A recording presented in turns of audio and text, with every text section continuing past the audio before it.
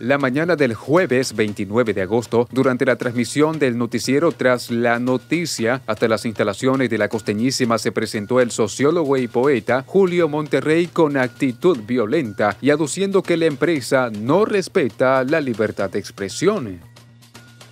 Ante esto, hicimos una entrevista a Monterrey, en el cual negó todos los señalamientos hechos por la conductora del noticiero en su primera audición, Calúa Salazar. Su hermano Carlos Edi Monterrey, quien hace comentarios en el mismo noticiero tras la noticia, y el controlista que se encontraba en ese momento, Ezequiel Martínez, estos dos últimos testigos de los hechos. Llegué de la manera tranquila, le dije, yo vengo a ver por qué usted me cortó, yo sé que aquí es una radio imparcial, una radio que aboga por la libertad de expresión y, me veo pues realmente eh, impactado porque me, negaron el derecho, me dijo la muchacha. Exactamente, es que se está oyendo mal, me dice que por factor tiempo tuvimos, está bien, le dije.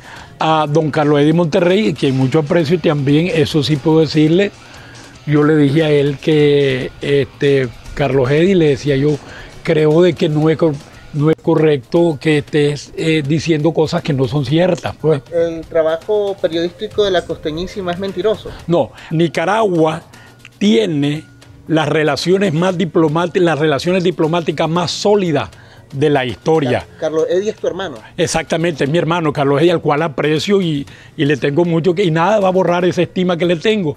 Eso no implica que yo no le pueda refutar lo que él dice. En ese sentido, don Carlos Eddy estaba diciendo que esta dictadura cruel y asesina que tenía Nicaragua aislado, que solo Cuba y Venezuela tienen relaciones, yo le dije, eso es mentira. Consultamos a Julio sobre cómo valora el trabajo periodístico que ejerce la costeñísima. En la radio jamás me han negado a mí el acceso a hablar, siempre han dado cabida a otras personas a que hablen. ¿Cómo valoras el trabajo de la costeñísima? Yo lo valoro muy bueno eso no implica de que pueda tampoco censurar a Carlos Eddy en el hecho de que él diga lo que él quiera. Yo sí, como ciudadano, puedo refutar a través de la radio también o decirle como mi hermano, hermano, eso está lejano de la realidad que pretendés cuando decís que esta dictadura, que este Nicaragua aislado, eso es falso.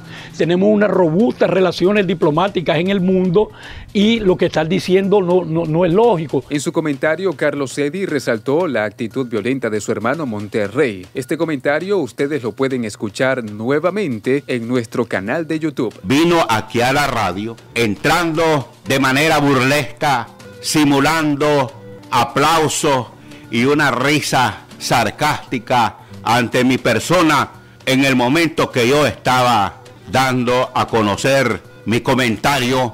Julio me tocó hasta la mesa de locución y me dijo, no seas loquito, tenemos historia en gestión diplomática, cuando yo ya había concluido mi comentario. Hasta se metió a los, a los controles donde está el, el controlista y me dijo, golpista, me dijo terrorista, están derrotados.